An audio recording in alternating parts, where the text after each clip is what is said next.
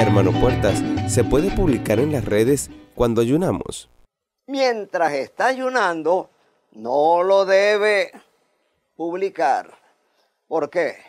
Porque la Biblia dice, tú cuando oras o cuando ayunas, entra en tu aposento y cerrada tu puerta, ora.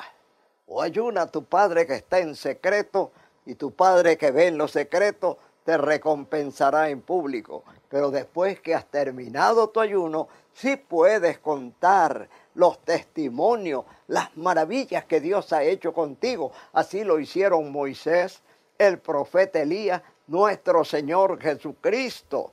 Ellos contaron sus experiencias, así como en el libro de ayunadores, en el capítulo 21, experiencias profundas de 70 ayunadores de 40 días. En el capítulo 21 están los testimonios de cómo hemos visto ángeles, cómo el Señor nos ha hablado, nos ha revelado secretos de su palabra.